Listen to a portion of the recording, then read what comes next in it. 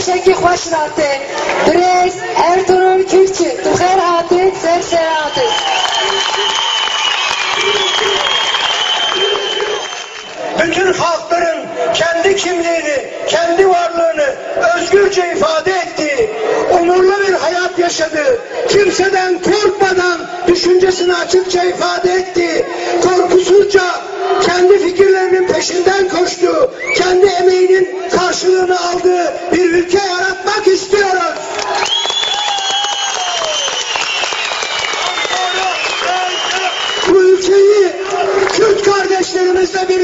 kuracağız herkesten evvel. Ama başka halklar yaşıyor. Kür Araplar, Çerkesler, Lazlar, dilleri Türkçe olmayan, başka dilde rüya gören, o yüzden o dilde düşünen, o dille kendisini ifade eden insanların kendilerini ifadelerinin önündeki bütün engelleri kaldıracağız, kaldırmalıyız. Hepimiz birbirimiz için savaşmalıyız, mücadele etmeliyiz. Özgürlük için, hak için, adalet için, kurtuluş için. Mahir Çayanların, Deniz Gezmişlerin, İbrahim Sayfat Kayaların yolundan yürüyeceğiz.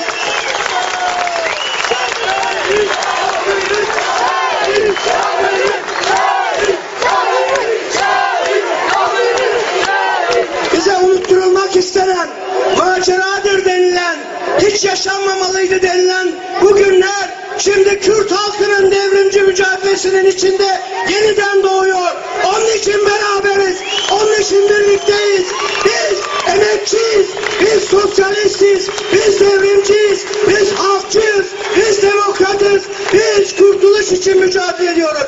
Sadece kendimiz için değil, bütün dünyanın kurtuluşu için, özgür, eşit, kardeş bir dünyanın yaratılması için, bütün dünyanın halklarının derdi bizim derdimiz. Onlar da bizim dertlenecek. Beş kıtada birden mücadele edeceğiz arkadaşlar.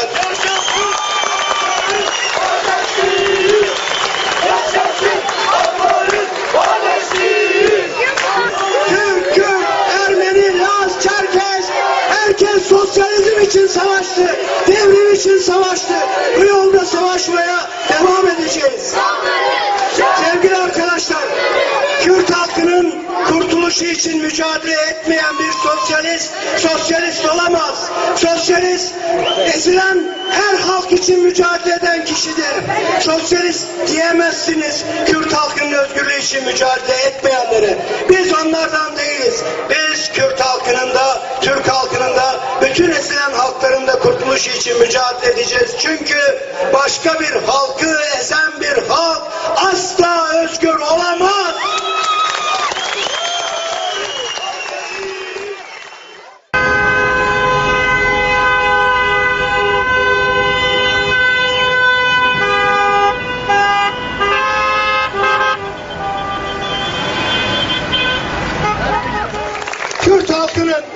Türkiye emekçilerinin ilk ve başta gelen dostu sosyalistlerdir. Çünkü sosyalistler eşitlik için, özgürlük için, kardeşlik için yola çıkmışlardır. Çünkü sosyalistler sömürüye karşı yola çıkmışlardır. Çünkü sosyalistler halkların zaferi için yola çıkmışlardır. O yüzden, o yüzden sosyalistler Kürtler kurtulmadan davalarını bitmiş hak etmezler. Yaşasın halkların kardeşliği. Bizi buraya gelen, bizi azadi, anazadi, anazadi. Yaşasın sosyalizm. 1960'larda Türkiye İşçi Partisi'nin milletvekilleri bize son derece önemli bir sosyalist parlamenter gelenek bıraktılar. Onların ayak izlerinden de yürüyeceğiz kök söktüreceğiz muktedirlere.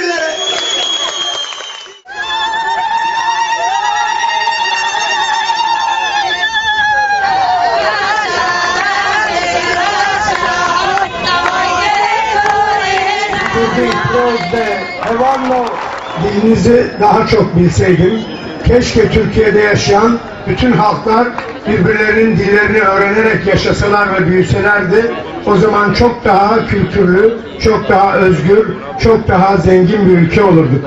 Ne yazık ki dil yasaklarıyla boğulan bir yerde bir halklar hapishanesi haline getirilmiş bir devlet altında yaşamanın zorluklarıyla başa çıkmak zorundayız.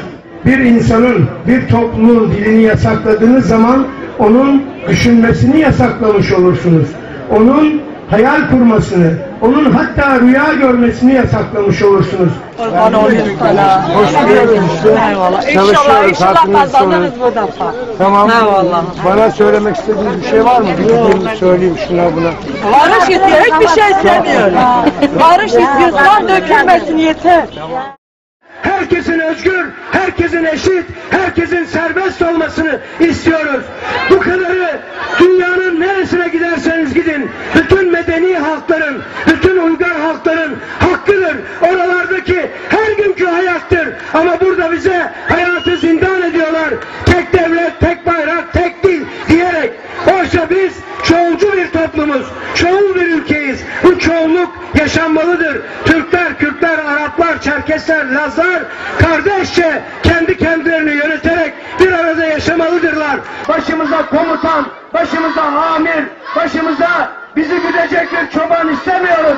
Biz kendi kendimizi yönetiriz. Biz özgürüz ve özgür kalacağız.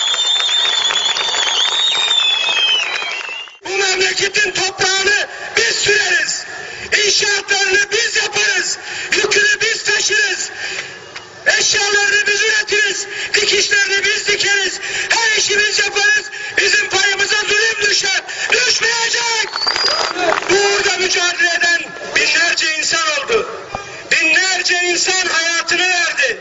Türkiye'nin son 40 yılında 50-60 bir insan canını verdi. Türk'ü Kürd'ü özgürlük için, emek için, demokrasi için. Bunu bugün değilse yarın, yarın değilse öbür gün elde edeceğiz. Zulüm altında yaşamaya devam edemeyiz.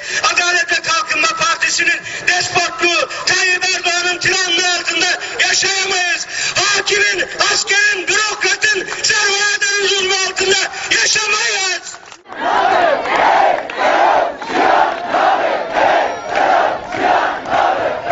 Bizim hareketimiz, bizim mücadelemiz, bizim blokumuz özgürlük için mücadele ediyor.